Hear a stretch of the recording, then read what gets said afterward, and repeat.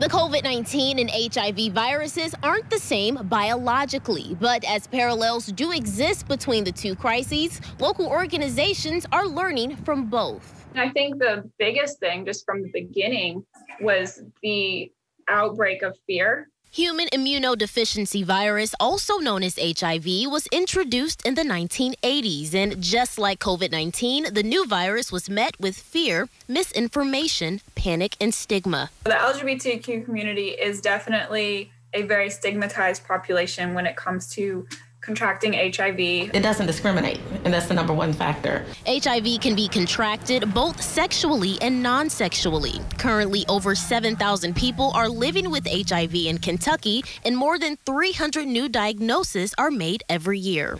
COVID actually, in a way, has put people at a higher risk for contracting STIs and STDs in general, not just HIV, partly because of the social isolation and the increased lack of reporting. As the efforts of local outreach organizations become even more crucial, they transition to virtual outreach and curbside pickup for safer sex supplies. But in person HIV testing numbers still lagged. We're hopeful that those testing numbers will increase and improve so that people can know their status and if they're not in care, we can link them into care. The optimism in both viruses continues, especially as science evolves. We are able to stop these these numbers from increasing and, and, spreading the way that they are. And now with the COVID vaccine, it shows you that things and science is there and make sure that we have a way to impact uh, future generations because that's what this is for. Outreach representatives say even amid the pandemic, their goal is unchanged to educate, get people tested, and help them live. No matter what, at the end of the day, we'll always be here. Alexis Matthews, WLKY News.